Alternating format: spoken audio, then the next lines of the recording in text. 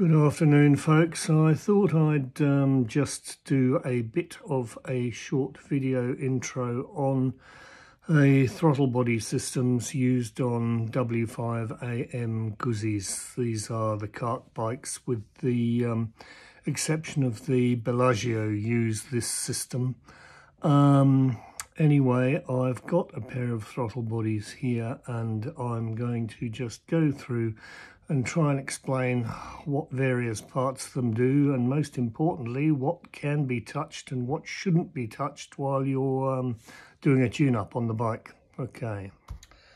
Right, well, here we are. Um, sitting in front of me here, I have a uh, bright, shiny, brand new pair of 50mm throttle bodies. These are the ones that are used on the 1200 series um, of CARC bikes.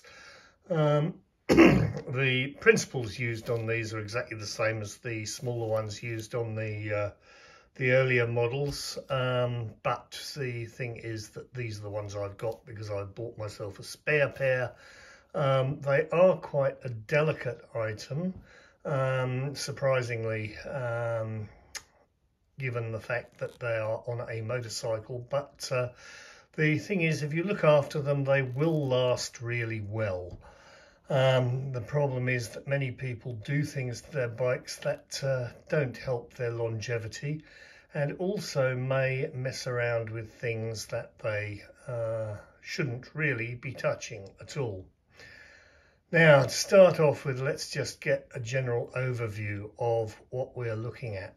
Obviously, these two items here are the actual throttle bodies themselves.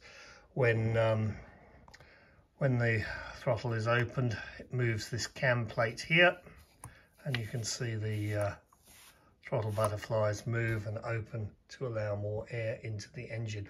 We are at the moment looking in from the back of the throttle bodies. Um, from the uh, left hand side, you where the cables come in at the top to operate the uh, butterflies, you have a rod that passes down through the throttle body on which the left-hand butterfly is positioned and it goes down through to this device at the bottom which is uh, in fact the pivot which incorporates um, a bell crank arrangement. That basically makes this linkage rod here um, adjust the same amount for or it keeps the uh, the opening and closing of the um, throttle body's uh, plates equal when you are adjusting them for balance. Um, if you were to just use a direct co correction uh, or connection without the um, bell crank, you would find that one side would open more than the other as you adjusted the adjusted the balance. But okay, let's go on from there. What we have here what I'm pointing to on this. This is very important. This is the throttle stop screw. And as you can see, it's sealed in with paint. If I turn the throttle bodies round, you can actually see that the as I move the throttle plate, this bar down at the bottom here is actually resting against the screw that goes through here on this spot welded uh, nut at the back. Now this is very, very important that this is left alone. This is one of the commonest problems that I find with bikes that come through my workshop is the fact that somebody has decided that either their bike is idling too fast or their it's idling too slow and they've thought well if I move the throttle plate by moving that screw then um, the idle speed will increase or decrease. Unfortunately that's not the way it works and in fact if you move that screw you effectively screw up the entire fueling. Um, now, we'll cover that again a bit later, but just for the moment, don't touch that screw. Likewise, Here on the rod that connects both the um, both of the throttle bodies, the linkage rod, you will see that the ball joints here uh, at either end are also locked and sealed with yellow paint. Now, they too should never be moved. When you are going to be doing the balance, you don't use this rod, you use the screw that adjusts the bell crank mechanism here. And if I turn the throttle body around again, maybe even turn it up, you can see on the bell crank mechanism, down here, there is another screw here with a flat blade screw in it. It's actually got a got I think a, uh, an eight mil hex on it as well, but uh, a uh, flat blade screw. Now that is sealed with paint. The thing is that that you do move during the tuning process. So the fact that that has got paint on it is um, a bit confusing um, because it will get damaged and moved. But the thing is, if you're looking at purchasing a second-hand motorcycle, um, do make sure that the paint on the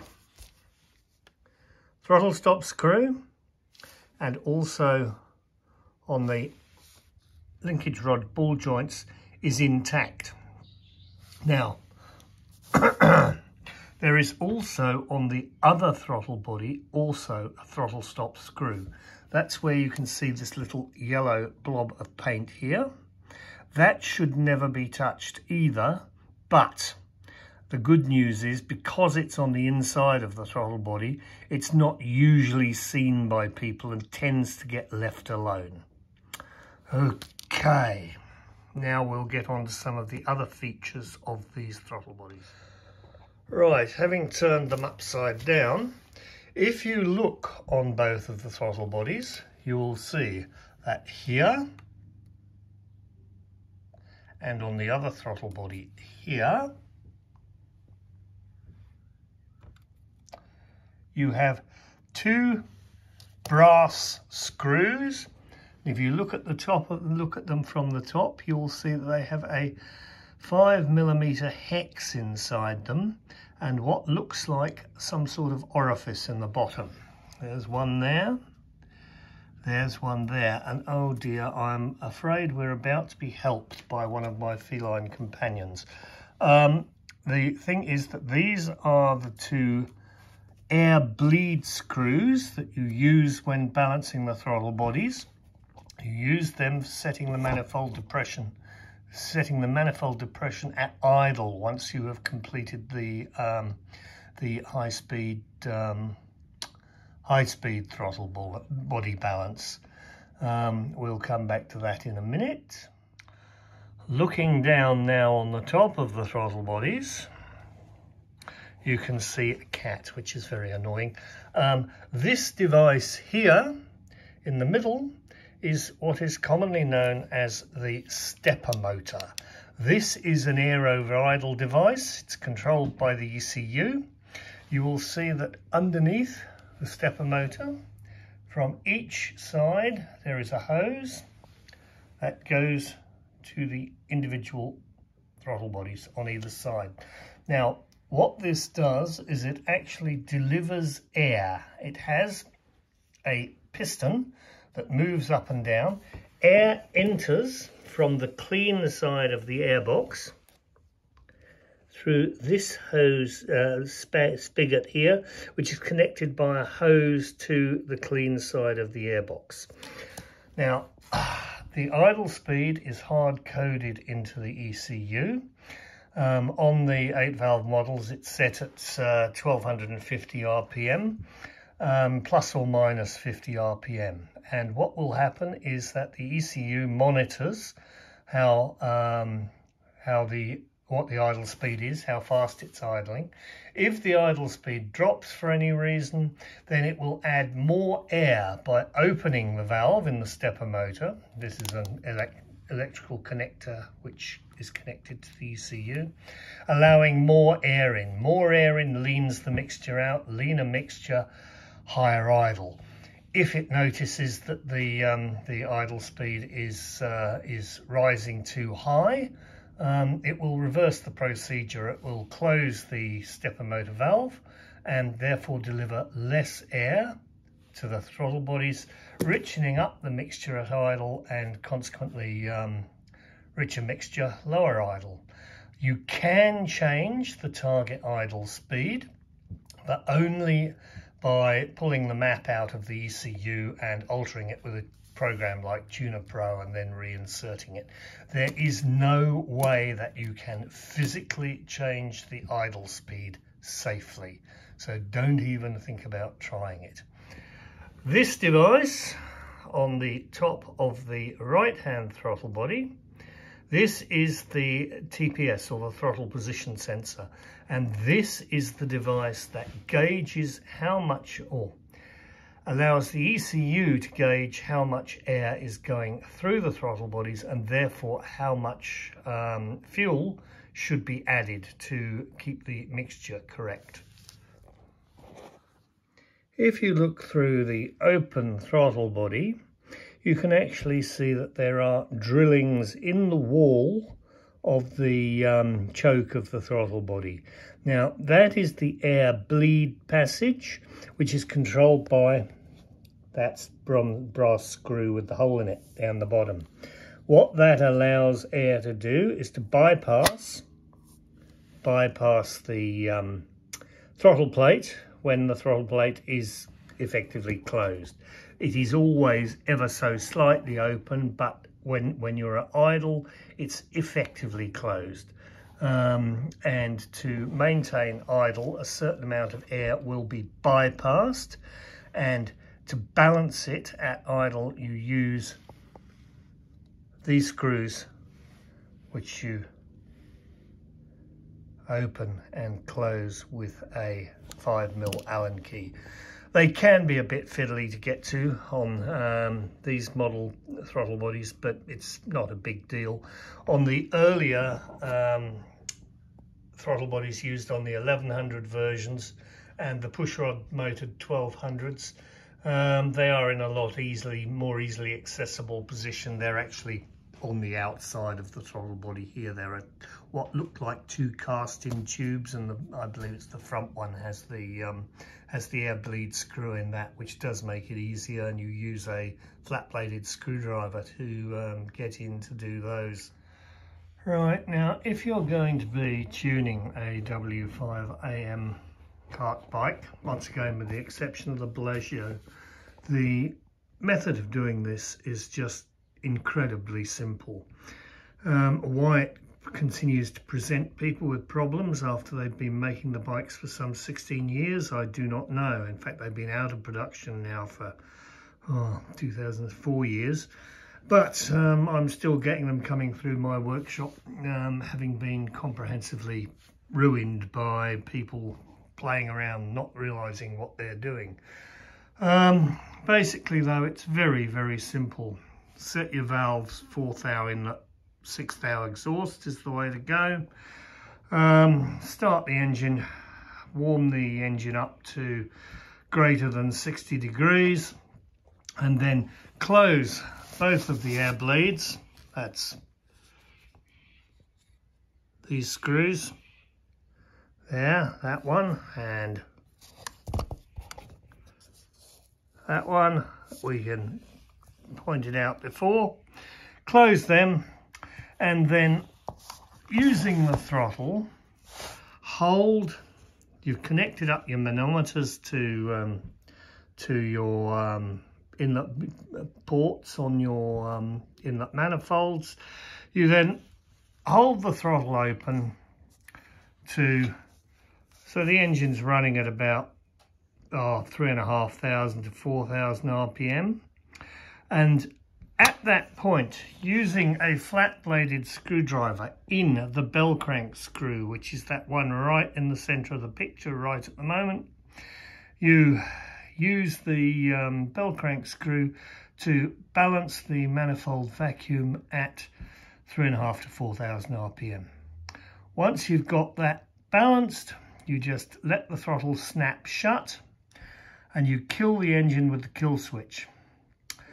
After you've done that, you use your diagnostic tooling. I use Guzzi Diag. What you do is you go into up here, you can see you've got view, and you can go down and there's actors.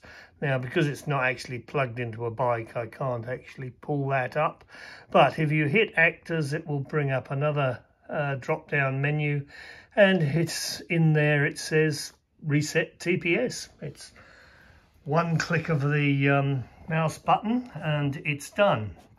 Um, after that, uh, you can restart the uh, engine and whichever side has the highest manifold vacuum at idle, all you have to do is open the air bleed on that side until equilibrium is um, restored. And that is it. That is all you have to do.